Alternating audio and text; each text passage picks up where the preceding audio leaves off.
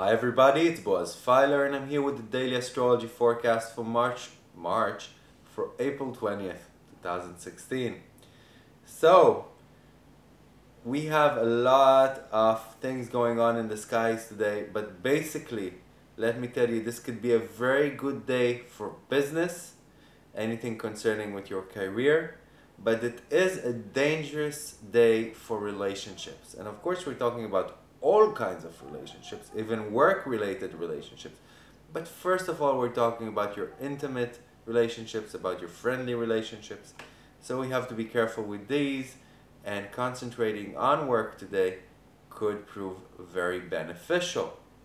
So the moon is in Libra, it's already talking about relationships.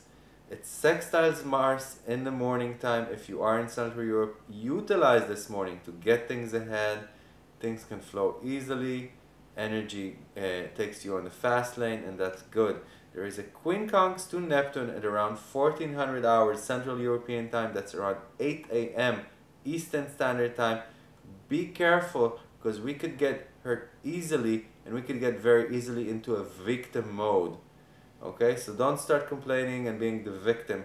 Just take the power in your own hands and there is a sextile to Saturn at around 2000 hours Central European time, that's around 1400 hours Eastern Standard Time. Again, a great time for anything concerning a career and, and our work environment and bearing those responsibilities and taking things maturely forward. But a little later on, there's a T square in the sky between Pluto squaring the moon and the moon opposing Venus. So we really have to be careful with relationships tonight. if things need to change, if we need to talk about things, we have to do it very wisely, calmly, gently, sincerely, and leave the drama outside. Do it with a lot of tenderness, do it with a lot of love, and there's a good chance that you're actually going to succeed in doing that because Mercury, the planet of communication, is in Taurus and is sextiling and trining the nodes, so communication could be easier tonight.